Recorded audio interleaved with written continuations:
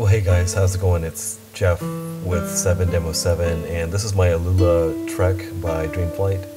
And after doing my legit wing, I got a lot of people interested in, in um, how I go about doing some of the art on some of the wings that I've done. I should say wing, as I've only done, done one, but I have done a lot of art projects in the past, um, my mountain biking helmet and whatnot.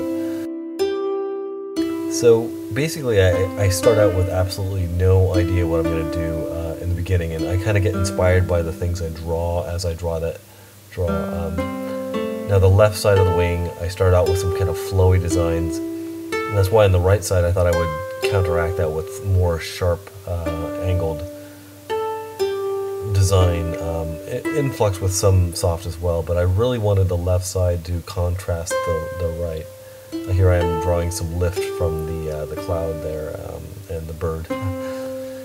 So, um, so like I said, I, I, start out with a blank piece of uh, canvas being the wing, and then I pretty much a blank mind. I, I like it, that first curvy line that I did was basically how it starts out, and you just build and build and build and build until you get towards the end when you start to incorporate it all back uh, together again. Uh, sorry for this one section here, I wasn't in shot, but it, it goes by pretty fast.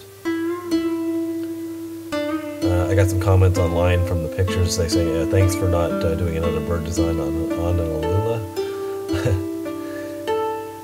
and if you guys don't know what an Alula is, it is a um, non-powered uh, slope soaring um, DLG style um, um, glider. Um, I just got it. Um, I had a nice flight with it this evening.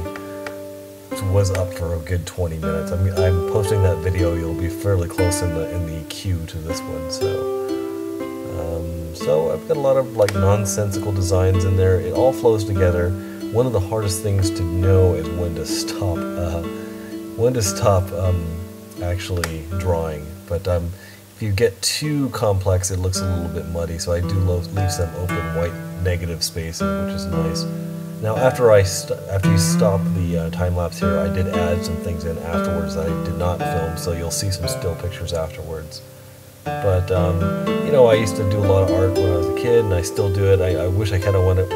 I wish I could have gone into art school, but um, I had negative influences taking me other directions. But um, well, here I am making an art video for you guys. So I will talk to you guys later. Um, you, guys should see some videos of this up pretty soon. So uh, hopefully, you guys will enjoy that.